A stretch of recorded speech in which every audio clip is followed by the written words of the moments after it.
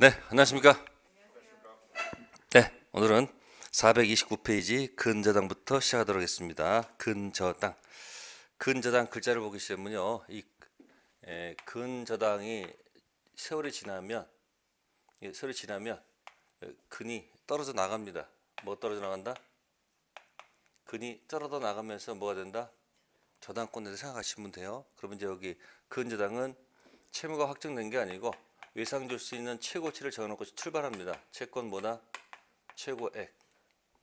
그래서 본사하고 도매상하고 거래할 때 물건 들어올 때마다 현찰 장사할 수 없죠. 그렇다고 물건 들어올 때마다 저당권 설정할 수 없는 거예요. 그죠? 그러니까 예상 줄 수 있는 금액을 모여놓고 뭐 10억을 결정해 놓고 출발해 가지고 이제 어느 순간 어느, 어느 때가 되면 이게 채무가 확정돼야 돼 안 돼야 돼요? 확정돼야 되겠죠? 그럼 출발해 가지고 이제 채무가 채권이 어떻게 되는가 롤러코스터입니다. 저 물건도 3억 들어왔습니다. 3억 채권이 있다. 근저당 있고 올라갑니다. 이렇게 올라갔다가 다시 또 2억 갔다가 가끔 뭐가 되는 경우도 있어요. 제로가 되는 경우도 있어요. 다시 또 올라갑니다. 이렇게 4억 올라가고 그죠? 6억 올라갔다가 뭐 8억 올라갔다가 다시 뭐야? 5억 됐다가 이렇게 채권이 뭐가 되는 거 이렇게 롤러코스터 타는 거예요. 또 가끔 또 뭐가 되는 경우도 있어요. 제로가 될 수도 있어요. 이렇게. 그래서 5억 됐다가 다시 또 뭐 8억 됐다가 뭐요? 나중에 이제 한번 결산해 보자 해서 한번 점 찍어야 돼, 안 찍어야 돼요. 그래서 한번 점 찍어요. 그래서 야 한번 찍어 보자. 결산에 얼마 나오는지 한번. 그래서 장부를 다 뒤지고 해 보니까 금액이 뭐다? 어, 만약에 9억이 결정됐어요. 얼마? 그럼 채무가 뭐가 된 거죠? 확정됐죠. 결산했으니까 그럼 이때 뭐가 되는 거다? 저 근저당에서 뭐가 떨어지면서 근이 떨어지는 거예요 이렇게. 그러면서 뭐가 되는 거예요? 일반 저당권 된다. 그러면 일반 저당권 된 다음에 만약에 채무를 채무가 제로가 되면 어떻게 됩니까? 아까는 채무가 뭐가 돼도 제로가 되더라도 이 근저당은 근저당은 제로 이게, 이게, 이게 소멸했다는 얘기 아니에요? 그죠? 근저당 소멸합니까? 소멸하지 않습니까? 저당권은 저당권은 미안하지만 소멸하지가 않아요. 소멸하다 소멸하지 않습니다. 아시습니까? 근데 여기는 뭐가 되면 채무가 뭐하면 소멸하게 되면 저당권도 뭐하게 된다? 저당권도 따라서 소멸하거든요. 이런 우리가 뭐라고 그러면 부종성이라고 그러죠. 무슨 성? 무슨 성? 부종성. 주가 죽으면 종도 따라 죽잖아요. 그럼 부정성이 적용이 된, 된다는 얘기예요. 그러면 뭐 되기 전까지는 확정되기 전까지는 일시적으로 뭐가 돼도 재료가 되더라도 저당권 소멸하지 않으니까 뭐야 부정성을 뭐하지 않는다. 부정성을 적용하지 않습니다. 단 뭐 되기 전까지만 확정되기 전까지만 부정성을 적용하지 않으니까 이걸 이제 부정성 완화라고 그래요. 뭐라 한다? 그래서 거기 429페이지 보시면 거기 2번에 니은 있죠? 부정성이 뭐가 돼 있다 완화. 그죠? 뭐가 되기 전 확정되기 전까지는 일시적으로 채무가 소멸하거나 이전하더라도 저당권은 영향을 받지 않습니다. 부정성 적용하지 않습니다. 완화로 돼 있죠. 그 부정성 완화의 반대말은 뭘까요? 부정성 엄격입니다. 뭐라고요? 부정성 엄격 반대말은 뭐다? 부정성 뭐다? 완화의 반대말은 엄격이에요. 부정성 엄격하게 적용되는 것은 유치권에서 그렇습니다. 무슨 권요? 채권 날라가면 절대 유치권 행사할 수 없습니다. 여기는 완화된 것은 근저당이죠. 일시적으로 뭐가 소멸해도 채무가 소멸하더라도 저당권은 소멸하지 않으니까. 그러면 유치권은 소속이 어디에요? 유치권은 유치권은 법정 담보 물건입니다. 어, 어떤 물건요? 법정. 이건 채권이 계약 관계가 아닙니다. 근데 여기 근저당은 약정이자 뭐라고요? 그래서 약정 담보 물건 근저당은 부정성이 완화돼 있고 법정 담보 물건 유치권은 부정성이 뭐하다? 엄격. 그래서 근저당은 포인트가 뭐다? 첫 번째 채권 최고액 정해놓고 채무가 확정될 때까지 부정성이 다소 뭐가 돼 있다? 완화돼 있다가 채무가 뭐가 되면 확정되면 그때부터 뭐 적용한다? 일반 저당권 가서 부정성 적용한다는 그런 뜻. 네. 그래서 그 근저당의 특질. 자, 그럼 357조 1항 읽어보겠습니다. 저당권은 담보할 채무의 최고액만을 정하고 채무 확정을 장내에 보류하여 이를 설정할 수 있다. 이 경우 확정을 될 때까지 바로 뭐죠? 확정되기 이전입니다. 주된 채무가 소멸했다. 주된 채무가 이전했다. 종된 저당권의 영향을 뭐하지 않는다. 미치지 않습니다. 즉 저당권은 뭐한다? 죽지 않는다는 얘기예요. 두 번째는 전환 경우에는 채무 이자는 최고액 중에 뭐한 것으로 본다? 산입한 것으로 본다. 네. 429페이지는 그 부종성 완화 거기에 포인트가 있고요. 자, 다음 편 넘겨 볼까요? 자, 근저당권 효력 들어가서 밑으로 가시면은 거기 채권 최고액이라고 되어 있습니다. 뭐라고 되어 있습니까? 채권 최고액. 자, 그럼 보시면은 근저당은 모든 채권을 일단 으로 취급해서 결산기에 있어서 일정 한도액까지만 담보한다. 근저당권 결산기에 피담보 채권이 최고액에 달해 있지 않을 때는 현존하는 채권 금액이 뭐가 되며 담보되며 결산기에 있어서 피담보 채권 총액이 채권액을 뭐 했을 때는 초과했을 때는 초과액 상당 분만 뭐가 되고 담보되고 잔액은 뭐가 된다? 무담보가 된다. 즉 여기서 아까 확정된 데 얼마가 됐다면 9억이면 얼마 이하 됐으니까요. 그러니까 확정된 거 얼마로? 9억. 만약에 10억을 초과하게 되면 10억까지만 입장해서 받을 수 있다는 얘기예요. 나머지 금액은 무담보예요. 일반 채권이다 그런 얘기예요. 자, 그 얘기고요. 그 다음에 431페이지 가셔서 피담보 채권 범위가 있습니다. 자, 그러면 요거 가지고 넘기, 넘겨 보세요. 다음 페이지 432페이지에 보충학습. 자, 확정된 채무액이 채권 채액을 뭐했다? 초과했습니다. 자, 아까 10억인데 10억을 만약에 초과했습니다. 얼마 초과했다고요? 10억이 채권 채액인데 플러스보다 알파가 나왔습니다. 알파. 알파. 만약에 더 나왔다는 얘기죠. 그럼 거기 첫 번째 1번 설정자가 누구인 경우예요? 설정자가 누구예요? 채무자죠. 그러면 담보 제공자가 누굽니까? 채무자입니다. 자, 채무자는 채무자는 얼마를 갚아야 됩니까? 얼마를 갖고 말소 요구해야 되겠습니까? 채무자 10억까지다 플러스 알파까지다. 네. 설정자가 설정 담보 제공자가 제 3자입니다. 어디까지 갚을까요? 응? 요거는 요거는 10억까지예요. 이건 10억. 요거는 이건 다 갚아야 돼. 이건 플러스 또 제3취득자 있죠. 사람 기회에서 대신 갚아준 사람 있잖아요. 제3취득자는 얼마까지일까요? 10억입니다. 간단해요. 간단해. 지 빚은 아 지 빚은 다 갚아야지. 그 내 빚은 내 빚이 아니면 여기까지만 갚아주는 것도 감지덕지지. 그래서 뭐죠? 설정자 채무자는 자신의 빚은 10억 플러스 알파까지 다 갚아주고 말소 요구하는 것이 맞고요. 여기 있는 사람들은 뭐야? 자신의 빚도 아니니까 최고액까지만 갚아주고 말소더라도 한 게 없습니다. 이건 갚아주는 것도 고마운 거죠. 그래서 뭐다? 지빚인가? 지빚이 아닌가? 그렇게 해서 딱 결정하면 답이 나올 것이다. 됐습니까? 네. 다음에 이제 밑에 보시면 이제 피담보 채권의 얘기입니다. 자, 360조가 적용되는데 자, 일반 저당권의 360조는 다섯 개입니다. 뭐죠? 다섯 개가 360조 뭐죠? 원번. 뭐 있습니까? 기억하셔야 돼요. 피담보 채권 범위는 제일 먼저 뭐 찍고 원본 찍고 그 다음에 이자 찍고 그 다음에 위약금 또 무엇일까요? 아, 지연이자가 있습니다. 무슨 이자요? 지연이자 몇 년분? 1년분의 하나죠. 또 실행비용이 포함되어 있어요? 포함되어 있어요? 실행비용이 포함이 되어 있습니다. 아시겠습니까? 자, 그런데 여기서 특징 조심할 것이 맨 밑에 맨 밑에 지연이자가 있을 거예요. 무슨 이자요?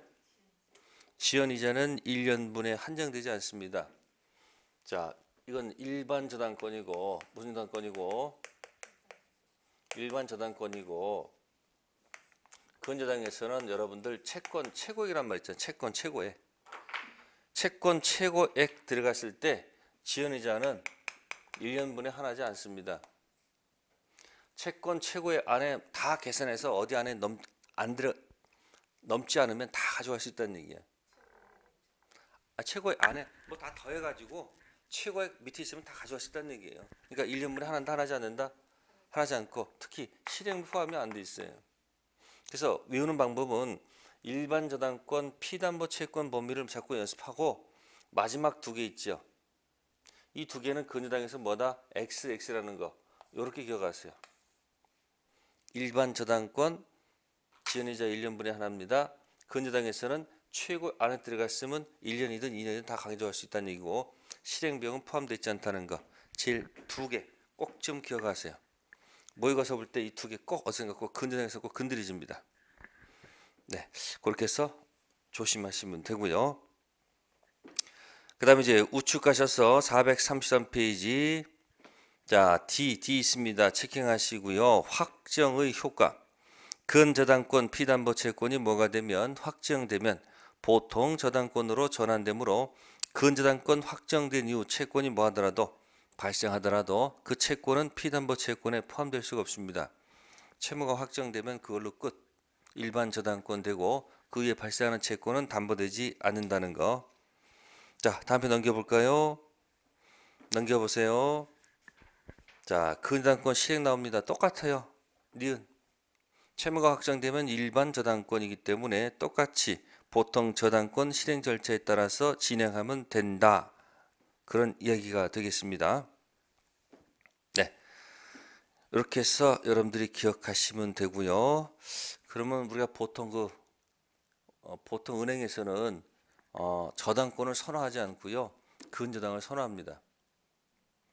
내가 분명히 돈을 3억을 빌리거든요. 그럼 채무가 확정돼 있어야 안 돼 있어요.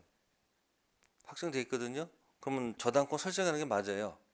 근데 은행에서는 저당권 설정 안 하고요. 근저당으로 합니다. 한 3,600? 왜 그럴까요? 일반 저당권을 하게 되면 아까 있잖아요. 여기 지연이자가 몇 년밖에 안 돼요. 1년밖에 안 된다고. 그럼 은행이 바빠져요. 근데 뭘 해놓으면 근저당 해놓으면은 지연이자 1년분에 하나지 않잖아요. 그러니까 밀린 금액 더해가지고 어디 안에 들어가 있으면 그랬으면 저당권 실행하는 것이 천천히 여유가 생겨요. 편법이야. 그래서 보통 은행에서는 뭘, 서- 뭘 설정하지 않고 저당권 하지 않고 보통 뭐다 근저당으로 합니다. 뭐 때문에 지연 이자 1년분 때문에 그렇다는 얘기예요. 일반 저당권은 법에서 1년분이라 못을 박아놨기 때문에 저당권 실행을 빨리빨리 해야 되지만 근저당 해놓게 되면 지연 1년분이 하나지 않으니까 천천히 해도 관계없다는 거. 네, 그렇게 해서 결정하겠습니다. 다음 435페이지 갑니다. 공동저당이란 말이 있습니다. 무슨 저당이요? 공동 저당의 반대말은 뭘까요? 단독 저당. 무슨 저당이요? 단독 저당. 자, 부동산 한 개가 들어왔습니다. 담보로. 부동산 한 개가 담보로 들어왔습니다. 그럼 부동산 한 개니까 등기가 몇 개예요? 한 개죠. 그럼 여기 등기한 게 뭐가 기재가 돼요? 저당권이 기재가 되면 하나죠. 그죠? 이게 무슨 저당일까? 이게 단독 저당이죠. 우리가 말하는 무슨 저당? 단독 저당입니다. 하나짜리니까. 그러니까 보통 저당권은 하나 설정해요, 보통. 근데 부동산 하나 가지고 안 돼. 자, 채권이 채권이 만약 채권이 뭐 5천이니까 한 개 가지고 담보가 돼요. 이거 해도 5천 이상 나오니까. 근데 만약에 돈을 갖다가 만약에 10억을 빌려준다. 채권이 얼마죠 지금? 10억인데 부동산 한 개 가지고는 담보가 안 돼.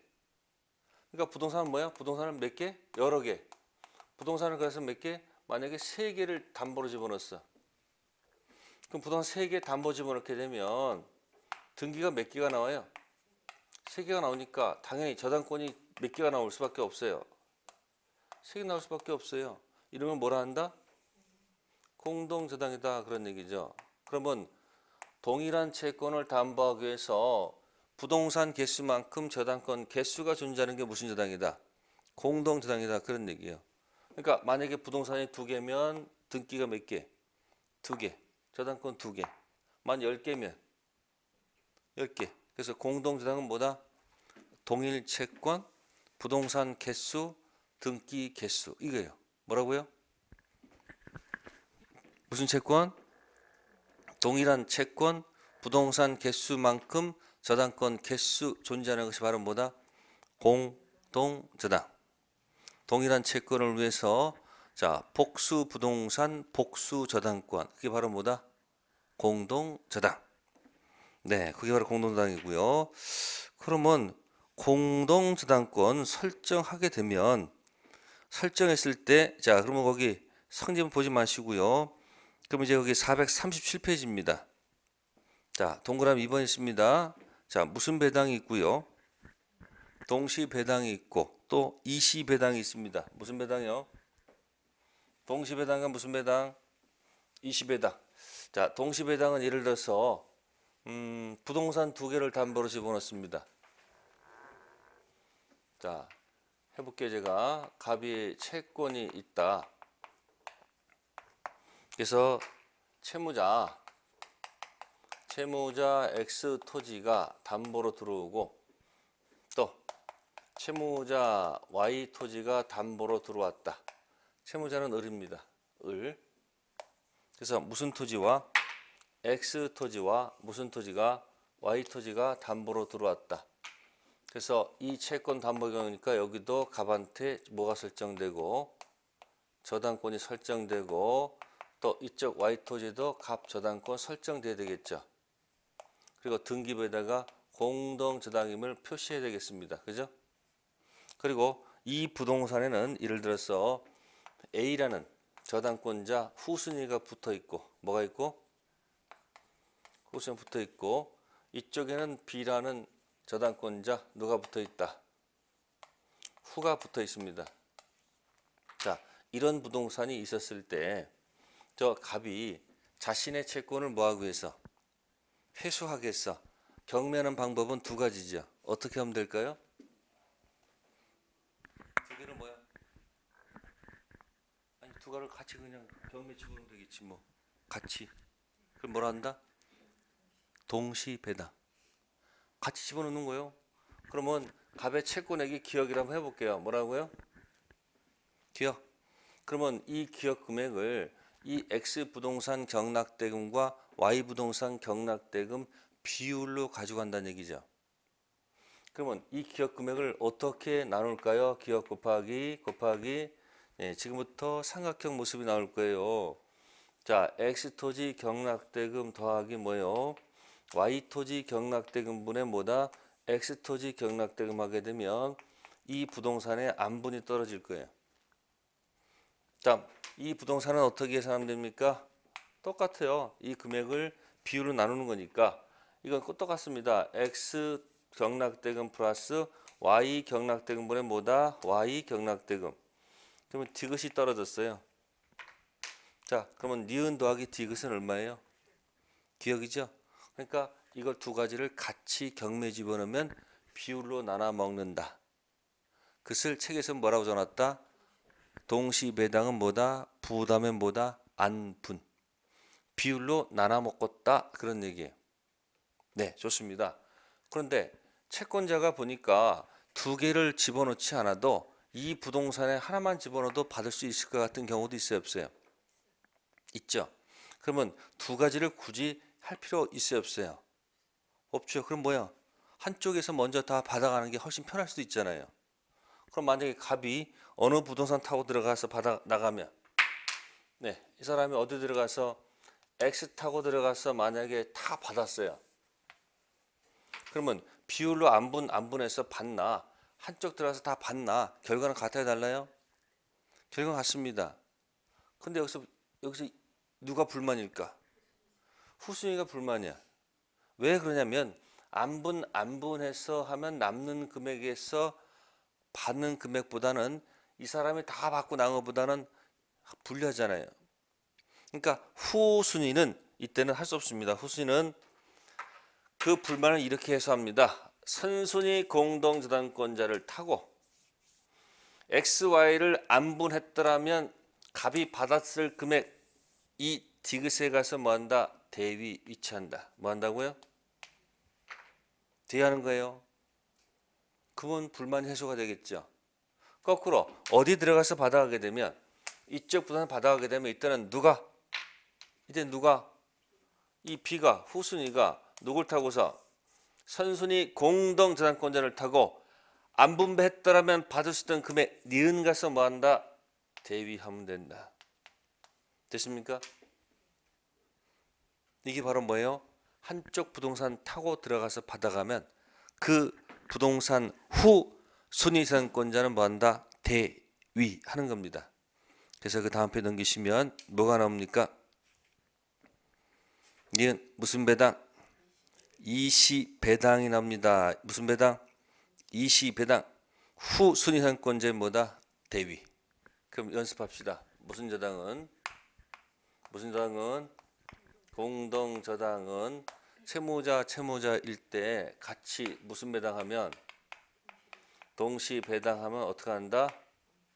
아, 똑같아요. 동시 뭐 한다? 안분 안분 뭐 한다고요? 안분 안분하고 만약에 무슨 배당하면 이시 배당하면 어떻게 한다? 후 후후는 뭐 한다?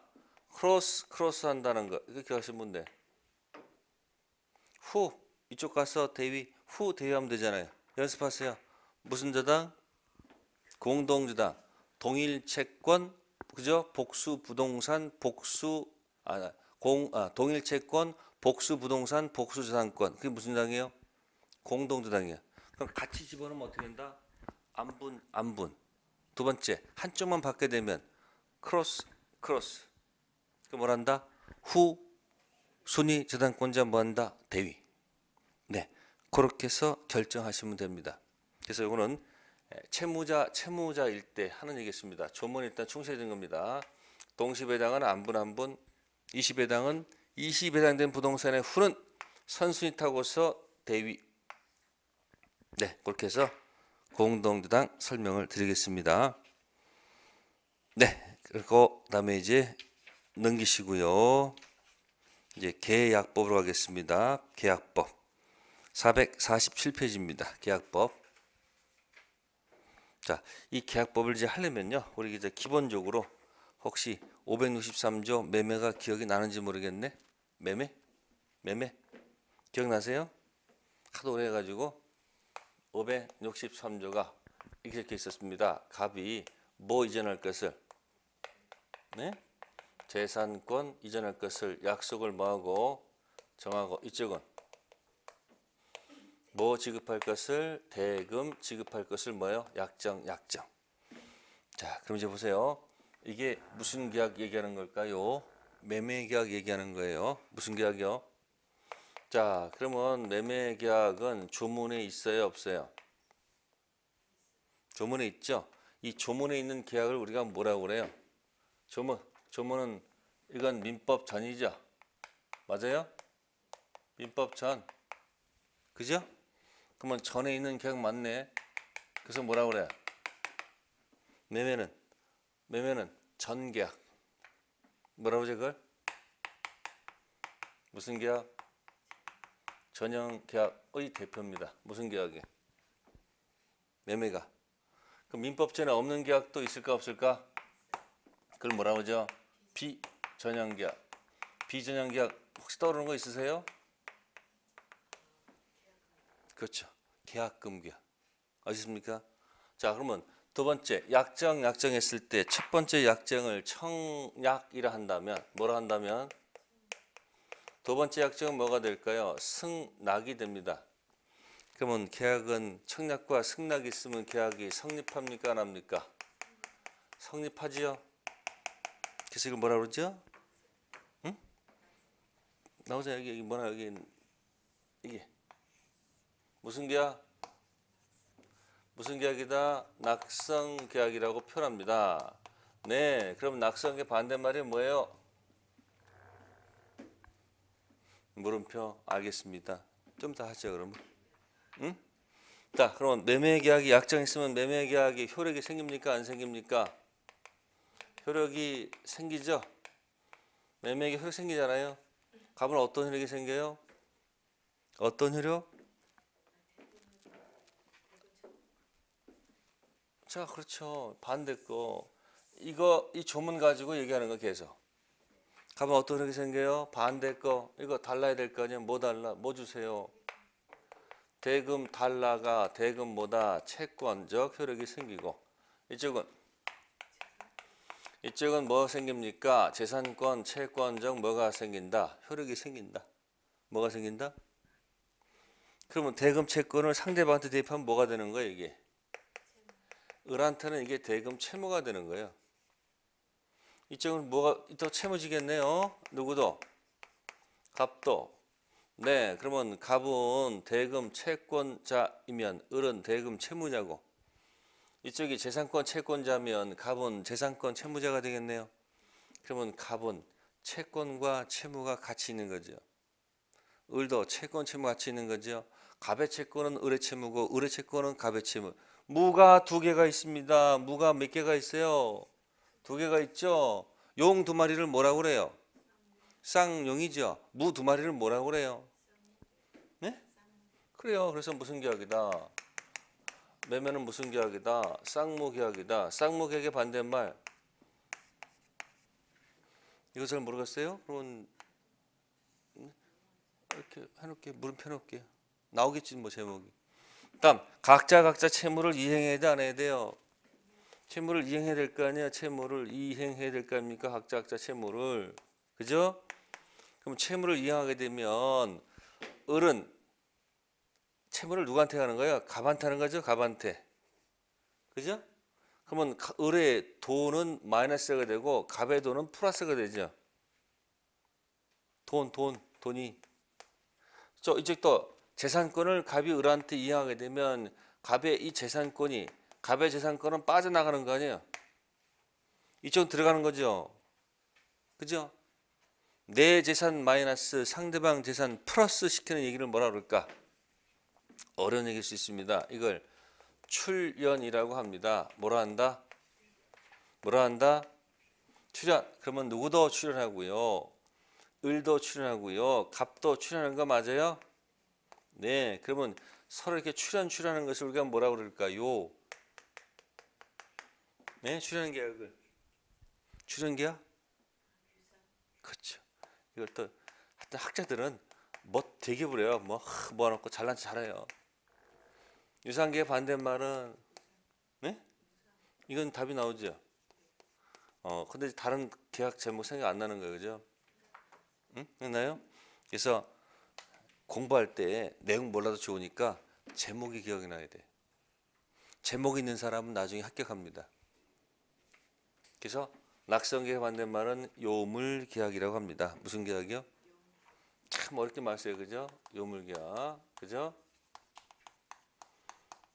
쌍무 계약의 반대말은 편무, 그죠? 무슨 계약? 편무 계약. 그 매매는 저기 무슨 계약이 아니고 반대로 치- 반대로 반대로 비전형이 아니고 전형이고 요물이 아니고 낙성이고 편무가 아니고 쌍무고 무상이 아니고 뭐다 유상 이게 나와야 됩니다. 그럼 순서적으로 기억하시면 되겠죠. 그러면 563조 딱 약정 약정 그죠? 내려와서 갑의 채권, 을의 채권, 을의 채무, 갑의 채무 이해한 거잖아요. 그럼 563조는 민법전에 있으니까 뭐예요? 전형 계약이고 약정 약정하면 뭐다? 청락 승낙 낙 낙성 계약이고 각자적 효력이 생겨서 을의 채무, 갑의 채무, 무가 두 개니까 뭐다? 쌍무 계약이고 그 다음에 서로 채무를 이해가 되면 서로 출연하지요. 이거 무슨 계약이다? 유상 계약이다. 네, 그 앞에 있는 보지 마세요. 신경 쓰지 마시고 쭉 넘기세요. 계속 넘기시고 454페이지 몇 페이지요? 454페이지 가시면 4번 계약의 분류가 있어요. 여기서 한 문제 나올 가능성이 있겠습니다. 그래서 1번이 무슨 계약이고요? 전형 계약, 민법 전에는 계약이죠. 네, 그 다음에 비전형 계약, 그죠? 자, 비전형 계약의 대표가 뭐다? 저는 계약금 계약을 기억하세요. 매매가 전형 계약하고요. 왜 비전형이냐면 455페이지 니은의 제목이 없거든요. 니은에 15가지 계약이 쭉 적혀 있어요. 니은 455페이지 맨 위에 자, 증여, 매매, 교환, 소비대차, 사용대차, 임대차, 고용, 도급, 여행계약, 현상광고, 위임, 임치, 조합, 종신정기금, 화해 15가지 있습니다. 거기 계약금이란 말 없잖아요. 그래서 매매가 전형계약의 대표고 계약금 계약은 뭐다? 비전형계약 대표로 기억하시고요. 다음 넘기시고요. 456페이지 쌍무가 있고 편무가 있습니다. 매매는 편무가 아니고 뭐다? 쌍무. 자, 3번의 구별 실익을 체킹하세요. 자, 앞으로 공부할 겁니다. 쌍무 편무의 구별 실익. 쌍무는 동시 항변권 문제가 발생하고요. 그다음 무슨 부담? 위험 부담 문제가 발생한다는 것. 여기 키워드고요. 다음 가로 3번은 유상과 뭐가 있어요? 무상 있죠? 자, 그러면 유상은 특히 매매에 관한 규정이 준용되는데 우측에 450페이지 맨 꼭대기 니은 있죠? 담보 책임. 이게 키워드입니다. 그러니까 지금 쌍무 편무할 때는 결국 뭐를 공부하는 거예요? 쌍무 편무는. 쌍무 편무 뭐 공부하는 경우는 무슨 이행하고 네? 이건 무슨 이행하고 동시 이행하고 뭐다? 위험 부담이 있거든요. 네. 요거를 가지고 초점 넣고 공부하는 것이고 유상 무상은 자, 나는 돈을 완벽히 출연했는데 너의 재산권 출연에 문제가 있으면 담보 책임 묻는 거예요. 그래서 유상 무상의 가장 키워드는 뭐다? 담보 책임이야. 그러면 시험 문제는 결정돼 있습니다. 이미 동시행 문제 나와요. 위험 부담 나와요. 담보 책임 나와요. 제목이 다 결정돼 있는데 뭐가 두렵습니까? 제목이 다 결정돼 있는데 뭐가 두려워요? 가서 그 내용 따라서 자꾸 여- 연습하면 되는 거지. 그런데 이제 4번 보세요. 4번은 뭐하고 뭐예요? 낙성 요물 있죠? 낙성 요물 있죠? 그래서 2번에 요물 계약의 니은 있죠? 네? 현상 광고 전형 계약 중 현상 광고만이 요물 계약이고 비전형 계약 중에는 무슨 계약? 계약금 교부 계약 있죠. 잊어먹으면 안 돼요. 그러면 거기다 이렇게 정리해 볼까요? 자, 매매는 무슨 계약이죠? 매매? 매매? 자, 매매는 무슨 계약이에요? 전형이죠. 그러면 계약금 계약은 계약금 계약은 뭐다? 비전형이죠. 그죠? 비전형이죠. 그 다음에 전형 계약 중 매매는 무슨 계약인데? 낙성 계약인데 계약금 계약은 뭐다? 유물 계약입니다. 제목 기억해 두세요. 그럼 시험에 계약금 계약은 낙성 계약이 아니다. 맞죠? 자, 매매는 요물 계약이 아니다. 맞죠? 그렇게 시험 문제 냅니다. 요물 계약이 아니란 얘기는 무슨 계약이란 얘기고 낙성이란 얘기고 낙성이 아니라는 것은 무슨 계약이다? 요물. 네, 좋습니다. 그 다음에 450페이지 맨 위에 보충학습. 무슨 학습이요? 보충학습에 거기 동그라미 2번. 동그라미 2번 있어요? 뭐라고 되어 있습니까? 쌍무 계약은 모든 무슨 계약이지만 유상 계약이지만 유상 계약이 모든 무슨 계약은 아니다? 이게 시험에 가끔 툭툭 튀어나와. 그 이해되십니까? 예? 그럼 이때 유상 계약이 쌍무 계약한테 얘기합니다. 내 안에 너 있다. 누구한테 얘기했어요? 유상이 쌍무한테 뭐라고요? 내 안에 너 있다. 이렇게 기억하면 돼. 이, 보세요. 거기다 이렇게 적어 놓으세요. 자, 쌍무 할 때 이게 쌍시옷이죠. 쌍무. 쌍. 그다음에 바깥에다가 원을 그리세요. 이게 유상계약이에요. 그럼 누가 누구한테 얘기했어요? 유상이 쌍무한테 내 안에 너 있다. 그러면 보세요. 여기서 쌍무는 전부 다 무슨 계약에 속해요? 유상이죠.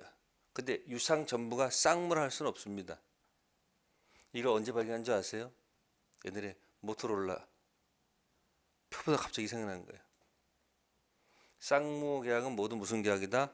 유상 계약이지만 유상 계약이 모두 무슨 계약은 아니다? 쌍무 계약은 아닙니다. 네, 다음 편 넘기셔가지고요. 계속적 계약과 무슨 계약이 있어요? 일시적 계약이 있습니다.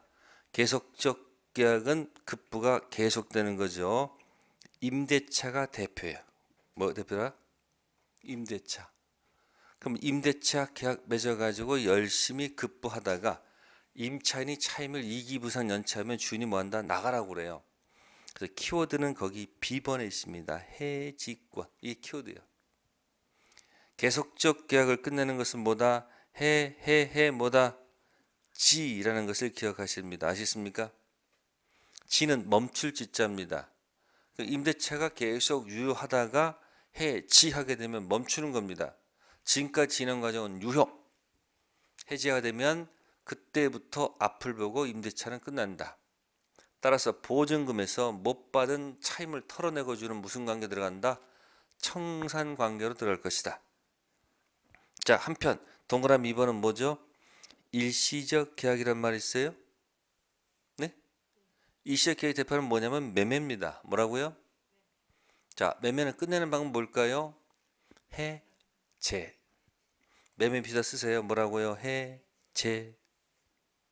해제입니다. 제는 제거할 지자입니다. 그러면 매매를 뭐 하고 제거하고 원래 상태로 돌려놔라는 것이 뭐다? 원상 회복입니다. 그럼 여러분 봅시다. 혼인은 혼인은 계속적 계약이었을까요? 일시적 계약이었을까요? 예를 들- 계속적 계약이죠. 그러니까 둘이 서로 안 맞아 해, 끝내. 해질까요? 해질까요? 아니 만약에 이, 이 일부러 그냥 해보는 거야 장난 삼아서 해지가 됩니다. 왜죠? 지금까지 했던 거 그대로 유효한 거죠. 그러니까 서로 헤어졌다 하는 만약에 그냥 서로 털고 들어간다는 거예요. 자, 해제에서 원상 회복이 됩니까? 아니 해제에서 내 청춘 돌려달라고 원상 회복이 되냐고. 내 얼굴 돌아다 얼굴이 돌아 돌아오냐고. 그죠? 이거 뭐예요? 해제 좀 재- 재미삼아 얘기하는 거고 혼인을 하게 되면 해지에서 그때부터 끝나는 거지. 그래서 청사가 가는 거지. 애는 어떻게 그럼 애는 어떻게 하라고? 하는데 원상 회복이 돼요? 안 되죠? 그런 얘기니까 계속적 계약 끝나는 건 뭐고 해지. 이식 계약은 뭐다? 해제. 그러니까 글자 입- 입력해서 지는 멈출 지자고 제는 뭐다? 제거할 제자. 네, 그래서 계약 분류 가지고 몇 가지 했습니다. 그래서 이거 잊어먹으면 안 됩니다. 제일 어려울 때 나온 얘기예요. 네, 첫 번째 시간은 거기까지 하고요. 잠시 쉬었다가 계약서 받으러 가겠습니다. 네.